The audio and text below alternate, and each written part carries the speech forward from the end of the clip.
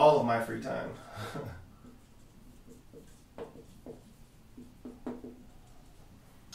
when you first start your business, the, the number one issue that you have is just people not walking in the front door. So you got to put all of your all of your resources, and usually in the beginning, the number one resource that you have is time. Um, as I've said before, like you either have time or you have money. If you don't have money, then you have to spend your time, and um, that's where like 90% of new trainers with a new gym or new studio end up with with not a lot of money, but a lot of time because they don't have a lot of clients. So you want to spend all of your time with uh, networking and marketing. And so networking, you're going to be able to leverage. It's all about leverage.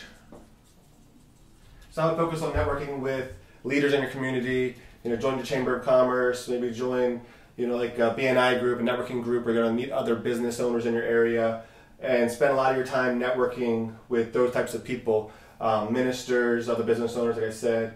Um, people that are catering to a similar clientele in a non-competing way, those types, those types of people. And then as far as marketing, again, you either have time or you have money. So if you have lots of time, what I did when I first started is whenever I had free time, I would just go, you know, pretty much walking the streets and I would just go up to people and uh, say like, excuse me, you know, um, might have asked you a question? And like, sure, no problem. Like, hey, have you ever done a boot camp workout before? And whether they said yes or whether they said no, my answer was always the same. You know, that's great. And I just started a brand new indoor fitness boot camp down the street. I would love for you to come take a workout, you know, on me, and I'd love to get your opinion on it and see what you think. You know, would you be interested in doing that? Most time they say yes, and I would get their name. At, at that point, I should already have their name. Um, and then I'm going to ask them for their email and tell them that I'll send them a follow up uh, want some more information about it, and then I ask for their number. You don't want to ask for their name, email, phone number all at once. It's like too much, and they're probably going to push you away and say, you know, you know, never mind, I'm not interested. So get their name when you first meet them, when you start interacting with them. And I just did what I call my 10 a day.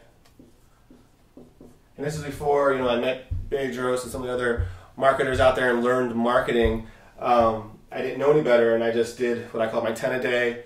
And Monday through Friday, when I didn't have clients and have anything to do rather than just sitting in there waiting for somebody to walk in the door, which I knew they wouldn't, um, I just went out and got 10 names and numbers a day and I wouldn't go home until I did.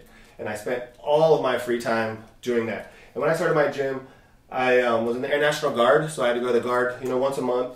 I was going to school full time because the studio that I got was uh, like nine, like nine hundred dollars a month, plus you had like utilities and stuff. Um, so by going to school full time, I got the Montgomery GI Bill through the Air Force and the Air National Guard kicker, which was thirteen hundred dollars total. So I had to go to school full time in order to get that money, and that money paid to help me, you know, start my business.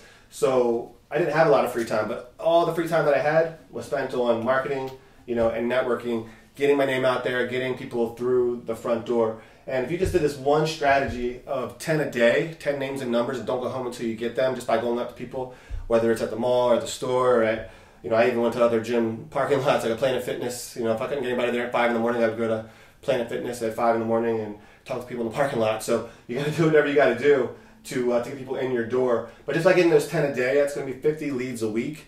And if you only were able to um, get, you know, out of the fifty, you know, five people to actually come in and take you up on that free workout, and then if you were only able to close, just let's say two and a half of those, you know. Um, you know, so half of them, which isn't very good, uh, you're still going to get 10 new clients a month. And if you're charging $200 a month, it's going to be an extra $2,000 a month every single month. By the, so by the end of that first year, just by that one strategy, you know, conservatively, you should be at $24,000, you know, a month. So when it comes to how much of your free time should you be spending in the beginning, it's all of it. It's the only problem that you have. Um, you don't need to worry about systems and all that stuff yet. Uh, just worry about getting, you know, people in the front door. And then once you start making a profit, you know, start what I call buying your time back. So once you start making a profit, you want to buy your time back.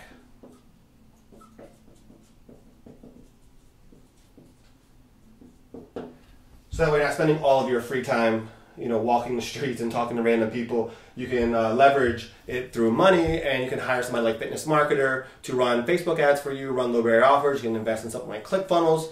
Um, and you're going to have all that free time to spend with all your new clients getting them really, really good results. So that way they're out talking and spreading the word about your gym and your place too. Because if you're not getting your clients results and you're spending all your free time marketing and once you sell them, you just forget about them, then you're going to have a lot of holes in your bucket, uh, you know, in, in your system, and you're going to have to get a lot more than 10 a day to keep that thing growing.